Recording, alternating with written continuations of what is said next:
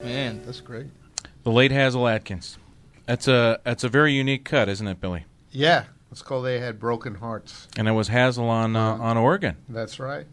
Probably his only known recording on organ, right? The Phantom of Boone County. yeah, there you go. I think so. Yeah. What else do we have in that set? Uh, Love Taker, where he was doing those owl noises and stuff, and at the beginning, by Joe's request, "Will You Miss Me?"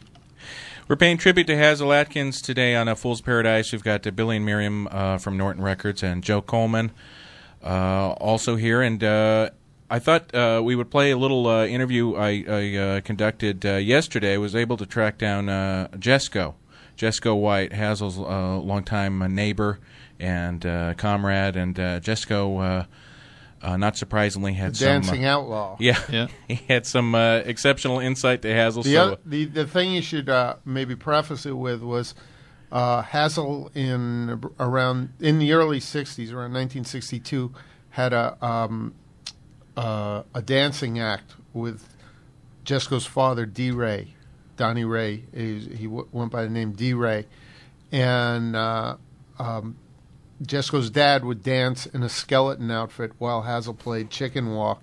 Yeah, Jesco and, makes mention of yeah, that. Yeah, and they and they got second prize on a TV show.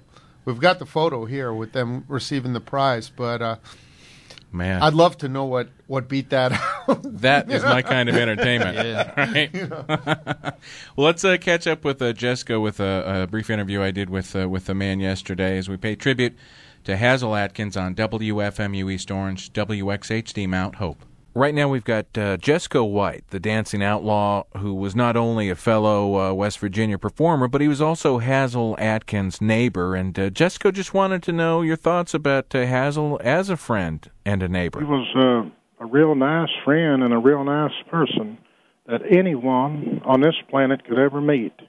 He was just uh, uh, you know, nice going guy and uh, a cut up with everybody.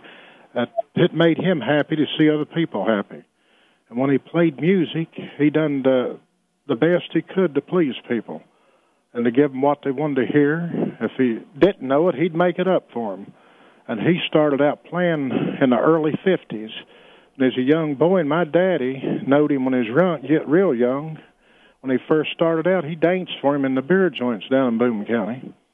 And uh, from that on, then I met Hasil through my daddy. Then I danced uh, two or three times for him the beer joints, and we really'd rock a place. And we'd get together, and he liked me just like he did my daddy, and we never had no uh, kind words against. I mean, no uh, hard uh, words against each other or nothing. He was just good to everybody, and was good to him. Man, we all stuck together, poor as we was, and just rocked. And to me, he'll always be the king. Uh, hillbilly blues player.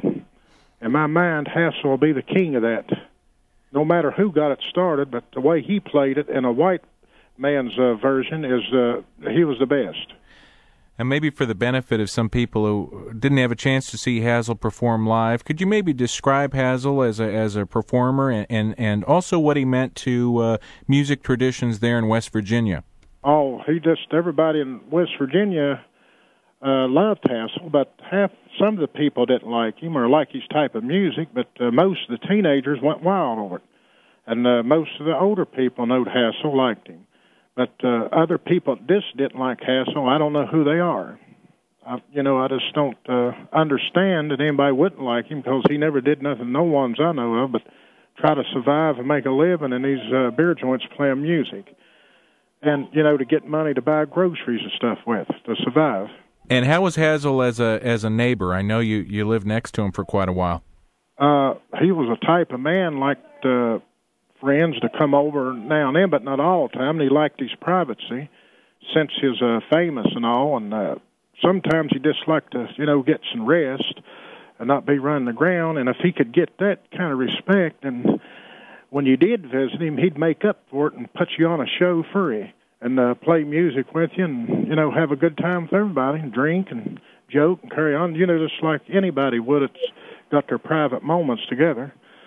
Uh, he was just a fabulous man, and I mean a good friend that I lost. It hurt me, and I still can't believe, in my mind, that it's real. Hasil's really gone.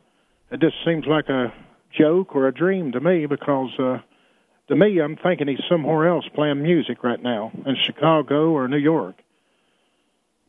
Yeah, it was uh, really sad the, the the tragic way that he left us. I know and uh, he's gone but not forgotten. Any favorite uh, Hasil songs or favorite Hasil memories that you've got from over the years?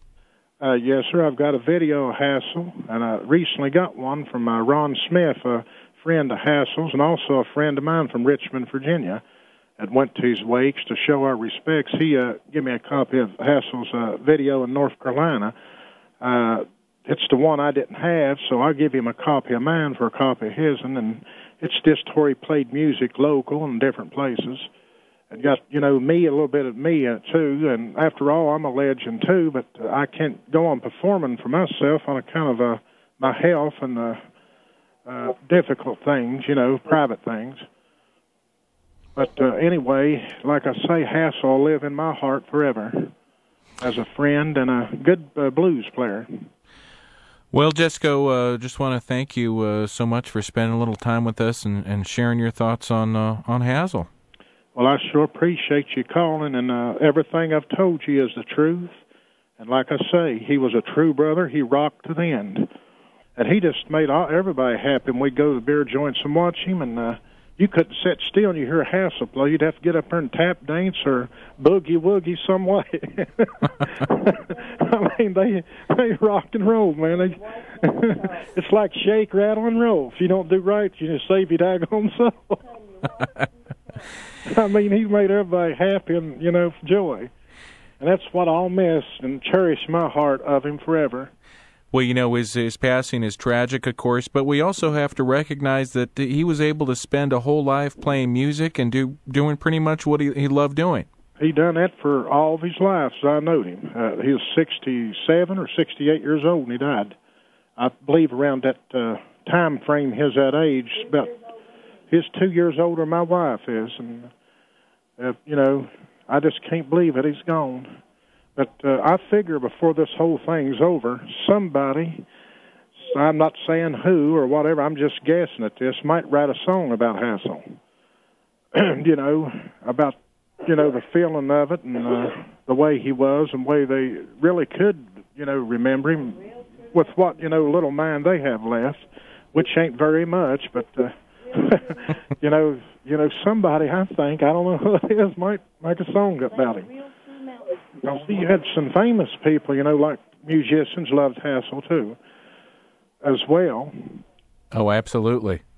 Yeah, it's uh, it's remarkable to think of uh, Hasil's wide-reaching influence all the way there from Boone County. That's right, and uh, it surprised me. I can remember what of everything I've told you, but it's the truth, and that's the way I all I can remember of him as knowing him as a friend. He was just a wild, wacky, crazy, Boone County blues playing hillbilly rocker. and a wild man. And uh, he was a wild man. They'd always call Hasil the wild man of Boone County. And everybody'd like to get wild. If you went wild, you'd get wild if you was around Hasil. He'd put a high test in your tank, man, without touching you. well, that will be his legacy. Yeah, I couldn't sit still and I'd hear him play. I'd have to get up there and dance, and they said I looked like a kangaroo hopping. but uh, they loved it. You know what we did doing there? They'd sit down and let me and Hasil have the floor. and they couldn't out tap dance. I mean, nobody in the place could tap dance. They could just wiggle and shake their butts. But I danced, you know, in a different way to his music, and he liked it like my daddy did. But I never could out dance my daddy. I've tried and tried, never could out dance him. He was a king of tap dancing. and Hasil's a king of blue playing in a white man's version. Now, we mentioned that you were uh, Hasil's uh, next door neighbor for quite a while. Could you describe uh, Hasil's uh, Hasil's house? I mean, he also operated a hotel there for a little while. Uh, yeah, he had a Hayes Hotel. It was called, uh, I think, Hasil's Hotel. That was the house he was born in. It was his mom and his house where he lived at first, before he got his trailers. And then he had his main trailer after his mommy died out behind a little shanty, and he kept his stuff out in that little house stuff, you know, he had for years, you know, like records and stuff he made. And he said he'd send them out to people to try to get help to get him uh, started. And never did go no whore from her, but he just kept playing and playing. And he's talking himself on a video about uh, Rob been ripped off and stuff, you know, where he'd sent his records out and never got no fur by anybody helping him like that. He just come famous as he was after that then. And do you know anything about uh, uh, a hair hole that he had there? He he often talked about that. Oh, had what? A hair hole, a hole that he put. He, he'd gather some hair. Oh yeah, to put in. Uh, I don't really know. Hasil had all kind of wild, wacky, crazy things, and when you'd go to visit him, he'd show you these things, and explain to you what he was. When I'd go there, he'd just want to drink a beer with you and some coffee and laugh and carry on, and show you some stuff where it would be funny to anybody, you know, to see, like something out of this world, ain't but nobody seen. I ain't seen nothing yet, ain't nobody seen, but uh, he showed some weird, crazy stuff, you know, like a, a man's arm cut off or a leg, you know, but it wasn't real. There's just like Halloween stuff, rubber, and the leg would they'd look real, and he'd have them hanging. That's the way he'd decorate his pad, man. and he made that song, "I Want Your Head Tonight." I want to put it on my wall about half past ten. he wrote a song about these rubber characters, you know, like a Halloween head hanging on the wall, but it looked just like a real person's head cut off. and Hasil just dying laughing. You know, when people see that, they'd flip out, man, laughing. Because they'd say, God, that looks like a real person's head, Hasil. He said, I know that reason I like it. He said, that's the reason that song come out good. I want your head tonight. and that's, I guess, the reason he wrote them songs, man. He was just a wild character. Now, I must imagine, as a as a fellow resident of uh, Boone County, you must have been really uh, proud to have uh, Hasil there in Boone County. Yeah, he was just a cool person to everybody, and we'd all go out when we get a chance. Know he'd be playing in a local beer joint somewhere. We'd go out and see him. He'd rock man to the doors locked, make him a couple hundred for gas and cigarettes. He'd be like Willie Nelson, pull out to the next place.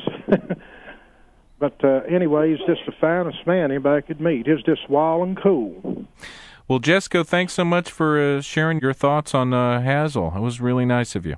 Well, uh, I really uh, appreciate you calling because I'd want you to know or somebody to know that was fans of Hasil how I feel about, felt about him too, because uh, they wasn't the only ones fans. I am too, and just like I said, he'll be missed dearly in my heart forever. He'll never die as long as I'm living, because Hasil will live in my mind and heart.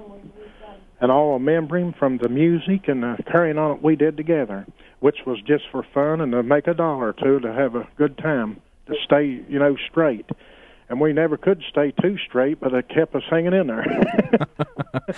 well, let's listen to some of that great music from Hasil right now. Jesco, thanks again so much. Okay, you're sure welcome.